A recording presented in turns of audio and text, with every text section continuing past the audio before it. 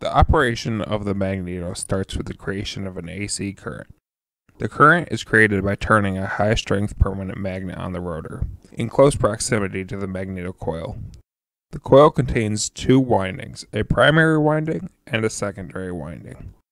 The primary winding's purpose is to capture the magnetic lines of flux created by turning the magnet. The current from the primary winding flows to both the breaker points and the capacitor, which are wired in parallel. When the breaker points are closed, the primary winding is grounded and the current flows directly into the case. When the breaker points open, the field in the primary coil collapses.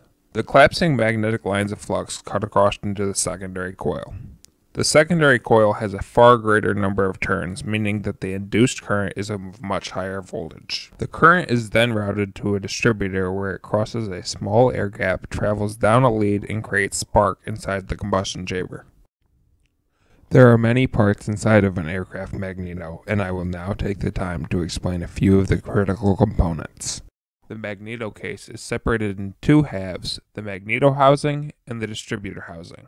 The magneto housing is the larger half and contains the coil, while the distributor housing is the smaller half and contains the distributor block along with the points and capacitor.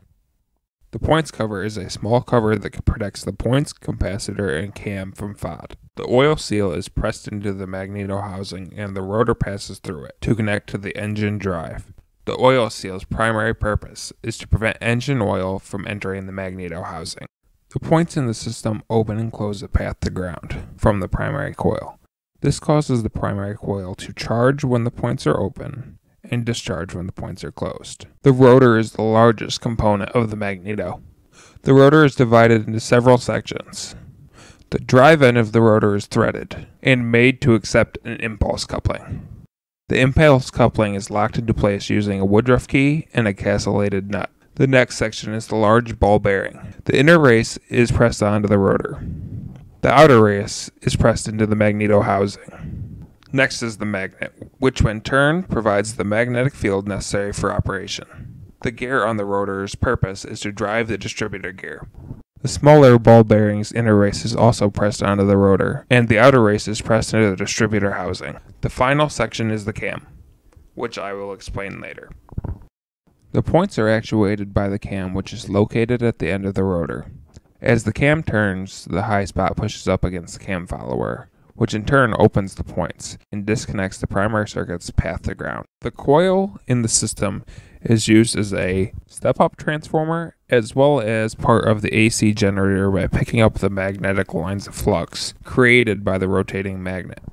The capacitor's only job is to prevent the current from the primary winding from jumping across the breaker points to ground. The distributor block is the connection between the magneto and the leads. The distributor block has a center boss in which the distributor shaft rides. The distributor block also has electrical contacts.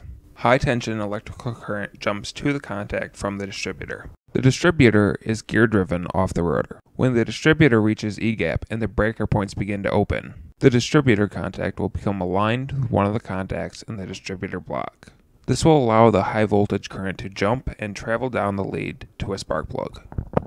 This concludes the operation and component description video for a Bendix aircraft magneto.